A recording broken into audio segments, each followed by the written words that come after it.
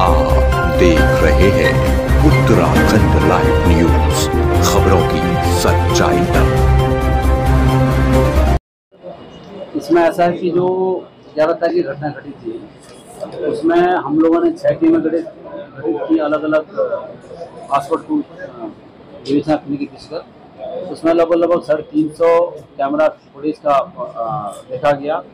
और दिल्ली, उत्तर प्रदेश, उत्तराखंड के कुछ जनपद जहाँ हमारी टीमें गई कल फाइनली सायंकाल रात को जो है लगभग लगभग सवा आठ बजे के लगभग जो इसमें जो अभियुक्त है पंकज शर्मा, उर्फ़ बंटी, ये वहीं विंग नंबर एक प्रेम नगर जहाँ पर घटना घटी है, उसके पास से रहने वाला है।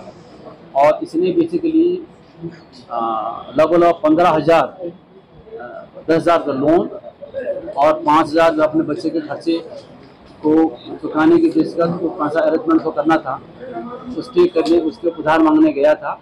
ग्यारह तारीख को मृतका के पास सुबह भी गया, शाम को भी गया, साढ़े छः, सात के बीच। दोनों टाइम मृतका ने मना किया और उसी बात पर शराब शराब के नशे में था। उसी बात को लेकर के रंजिशन गुस्से में आकर के उसने मृतका का जो है जो सब्ज़ी काटने वाला जो चाकू होता है, उसे उसे गला देता। गला देने के बाद जो है उसको जब बहुत सारा खून पर पड़ा तो उसके बाद वो परेशान होकर के वहाँ से भी निकल गया था।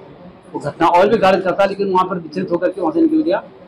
इस पूरे प्रकरण में जो भी रिकवरियाँ हैं, एक तो ऐसा है कि जो खून आलोदा इसके कपड़े हैं टी शर्ट और जीन्स को हमने रिकवर कर किया घटना के बाद ये पानी पिया उसने कांच गिलास में, वो फिंगरप्रिंट युक्त जो है हमने कांच गिलास को बरामद किया है। एक जब घटना के बाद इसने जो है, जो घर का जो पर्दा होता है, उसमें हाथ पहुँचा तो वो खून आलूदा हमने जो है, वो पर्दा बरामद कर लिया है।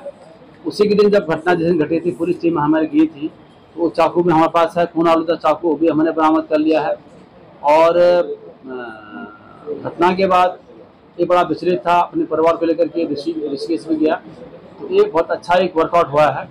और इसमें बहुत सारे एंगल लेकर लेकर के हम चल रहे थे, लेकिन सीसीटीवी फुटेज और फुटेज के बाद जो इससे हरकतें थी, और कुछ हमारे मुखबिर ने सूचना करी, उसके आधार पर हमने इसको अप्रेंड किया। ये मामला वर्कआउट हो गया है। उस पूरी टीम को मेरे तरफ़ से पाँच पंद्रह हज़ार और आई रेंज के साहब के तरफ़ से तीस हज़ार का इनाम की घोषणा की जाती है।